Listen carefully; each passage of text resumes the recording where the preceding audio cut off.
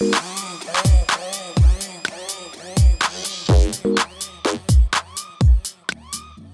up.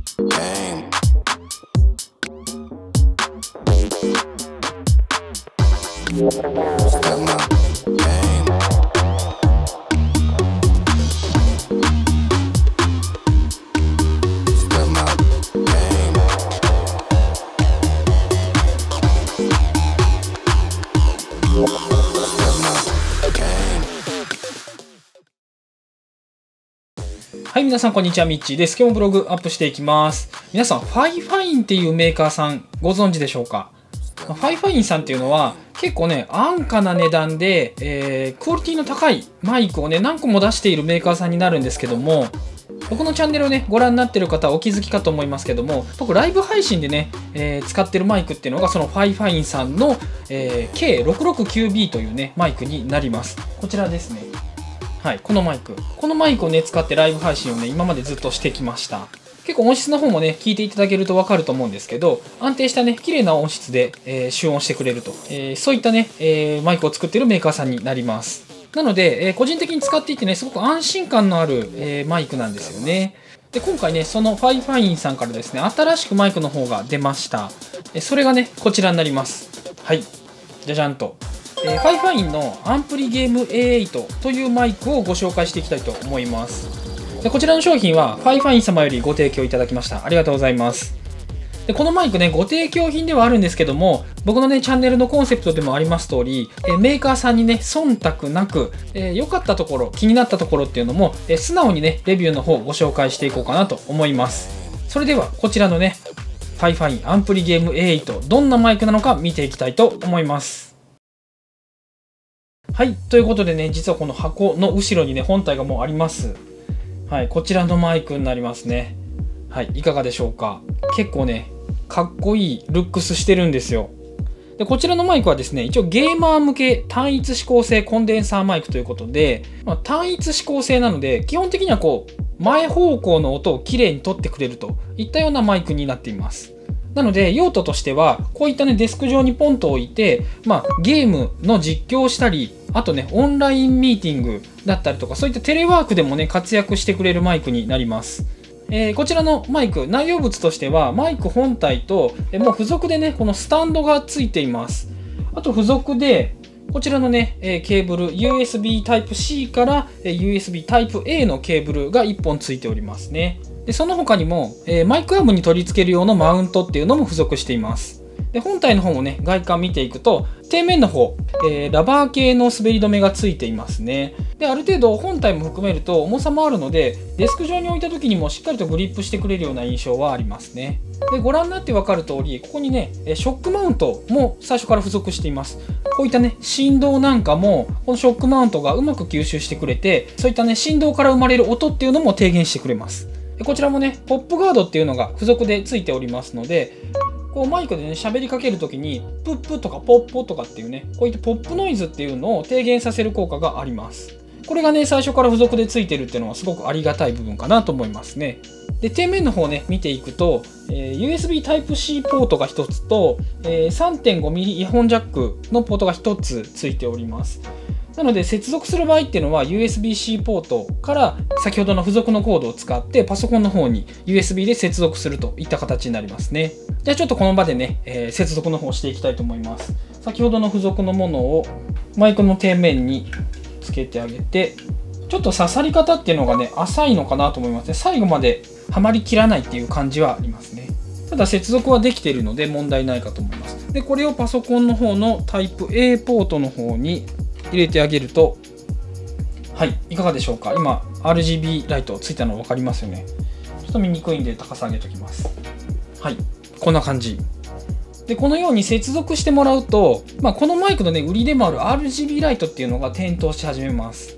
一応商品名の中にもゲーマー向けコンデンサーマイクという風にね歌っているのでなのでこういった RGB で、え照明ライティングをね演出することでちょっとねこう映え感みたいなのを、えゲーム実況しながらでも演出できるという風になっていますねはいでこちらねライトの方がですねえーレッド、イエロー、グリーン、ブルー、パープル、ホワイトということで全部で6種類ぐらいあるみたいですね。ただ今ちょっとこれ変えてみたところね、レッド、イエロー、これがねもう一個イエローな気がするんですよね。でこれグリーンですよね。でブルー。でもう一個ブルーがあって。でパープル。ホワイト。っていう感じですかね。はい。なので、えー一応6色なんですけどもちょっと色の違うイエローだったりグリーンとかっていうのが混ざってたりするので、まあ、色のバリエーションはね大いに越したことはないかなと思います。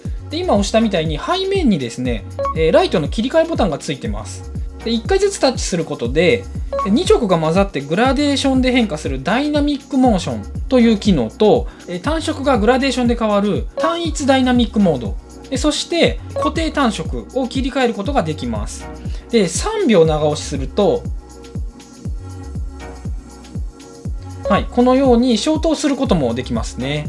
映像表現においてライティングっていうのは結構重要だったりします見てる人の印象っていうのをねこの色で表現するということもすごく大事な部分なのでこういったねライティングのできるマイクっていうのをこうポンと置いておくだけで、まあ、プラクティカルライトとして使うこともできるかなと思いますはい。で、先ほどもね、言ったみたいに、裏面にね、3.5mm イヤホンジャックついておりますんで、こういう風にね、マイクを置いていただいたときに、ここにね、サクッとイヤホンを挿してもらえれば、もうこの場でね、えモニタリングっていうのができます。今これ音がね、ここ入ってきてます。はい。こんな感じでね、イヤホンつなぐこともできますね。なので、こうマイクがね、目の前にあって、イヤホンジャックここから伸ばせるので、まあセッティングの関係上、ここからね、イヤホンが使えるっていうのは、すごくね、重宝する方も多いんじゃないでしょうか。でそしてですね、えーこれのねすごくいい部分なんですけどもこの本体の上部の部分に、えミュートボタンがついています。でこれねワンタッチするだけでミュートすることができるんですよ。LED ライトの方も、えオンになってる時は緑色で、えーついています。で1回押すと赤色でミュートすることができます。これがねすごくライブ配信とかでは使いやすい、え機能になってるかなというふうに感じてますね。えー僕もね、えー普段ですとライブ配信してる時っていうのはミュートする時ねパソコン上の、えソフトの方で、えミュートをかけたりとかするんですけどもこの機能があれば、えわざわざねマウスを持ってミュートっていうのをね選ばなくてもこれだけでミュートしてくれるんですよね。ポンと。はい、押すだけでミュートしたりオンにしたりっていうのを切り替えてくれるので、えーすごくね便利だなというふうに感じてますね。そしてですね、この本体の背面、先ほどね、えー LED 変えるボタンが、RGB カラー変えるボタンがあったんですけども、それの下の部分に、えーボリュームダイヤル、ゲインダイヤルがついています。えーこちらをね、いじることによって、まあ、これもね、またソフトで調整をしなくても、音量の調整っていうのをその場でね、変えることができるので、これもまた便利な部分ですよね。はい、ということでね、外観の方をね、ざっと見ていきましたけども、いかがでしょうか？結構使いやすいね、えーマイクになってるんじゃないかなというふうに思います。ただやはりですね、えーマイクなので、一番問題になってくるのはやっぱ音質だと思います。なので、こちらのマイク、えー音質の方いかがなものかっていうのを指向性という部分も、えー検証してみましたんで、一度そちらの方をご覧になってください。どうぞ。まずは音質と指向性のチェックになります。マイクテストです。こちらは Fi-Fine アンプリゲーム A8 の音声になります。マイクテストです。こちらは Fi-Fine アンプリゲーム A8 の音声になります。マイクテストです。こちらは Fi-Fine アンプリゲーム A8 の音声になります。指向性テストです。こちらはマイク正面から20センチ程度離して集音しています。指向性テストです。こちらはマイク正面から20センチ程度離して集音しています。指向性テストです。こちらはマイク正面から20センチ程度離して集音しています。指向性テストです。こちらはマイク横から20センチ程度離して集音しています。指向性テストです。こちらはマイク横から20センチ程度離して集音しています。指向性テストです。こちらはマイク横から20センチ程度離して集音しています。指向性テストです。こちらはマイク後ろから20センチ程度離して集音しています。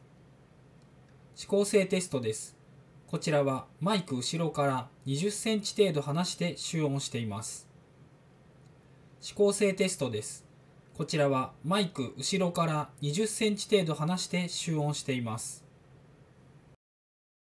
次にゲーム実況でも使ってみたのでお聞きください。はい、ということで、えーライブ配信ではないんですけどね、ゲーム実況やっていきたいと思います。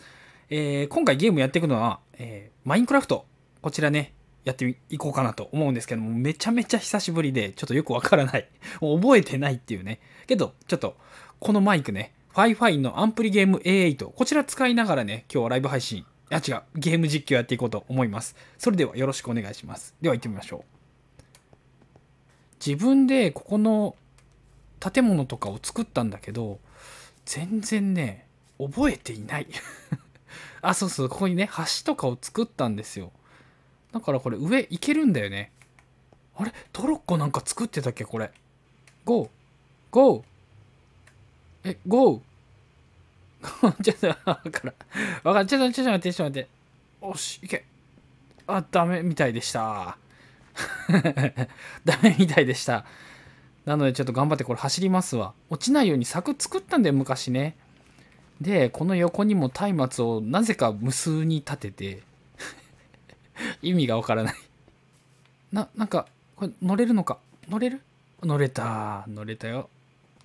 あんまりあんまり遠くにね行き過ぎると帰れなくなっちゃうから僕。やべあのなんか洞窟みたいあちょっと待ってすごくない？あそこの洞窟。あ洞窟じゃない。崖やねただのね。中にね多分行ったことあるやつこれ。ほら松明ついてるから。はい何もない。何もない。意味がない。水の中をウィーンと確か登れたはず。息が続く限りはいける。あーバカあ落ちた。重力関係ないのに落ちたらあのやられちゃうっていうね。どうもこんにちは。君は乗れるのか？乗れませんね。すごい顔してますね。めっちゃ見てきますね。日が落ちてくると敵が出てくるのよね。うわいるいる。おらおらおらおっしゃ途中でやられて全部置いてきちゃったんだよね。だからダイヤが多分ない。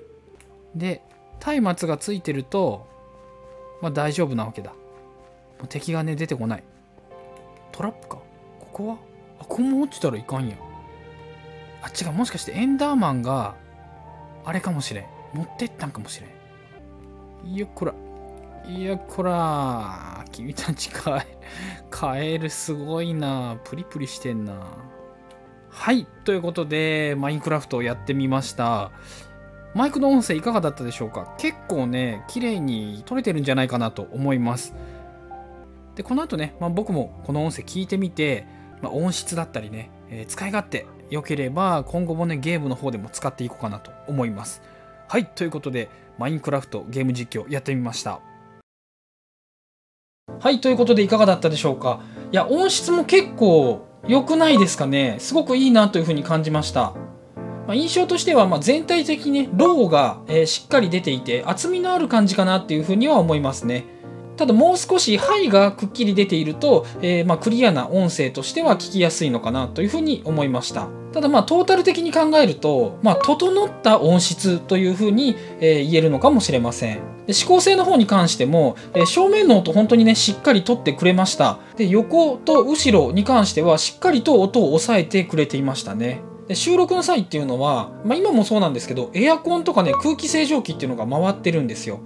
なのでそういった音っていうのをあまりこう拾わずにねちゃんと前の、え人物の声だけを拾って集音してくれてるっていうのはすごくねいい部分じゃないかなっていうふうには感じました。で実際にねこちらで数日オンラインミーティングでもね使ってみたんですよね。そしたらまあ相手さんの方にもまあ違和感なく、えーしっかりと聞きやすい音質でしたということでお返事もねいただきましたのでで、まあ、ゲームに限らずですねオンラインミーティングや、まあ、そういったテレワークでも十分使えるマイクじゃないかなと思います。でテレワークの時にねこういった RGB ライトがピカピカしてるとちょっとおなんか変わった感じだなっていうふうにも見てもらえるかもしれませんし、まあ、ちょっとそれ問題あるなっていう場合はこちらのねボタン3秒押してもらえれば消すこともできるので、えー両者ね問題なく使えるかなと思います。さすがにね、えー完璧なクリアな音かというと、まあ、本格的な高級マイクと比べるとねどうしてもちょっとこう、えーこもった感じや出力の小さい部分っていうのはあったりはするんですけども、まあ、これからね撮影を始めたいよと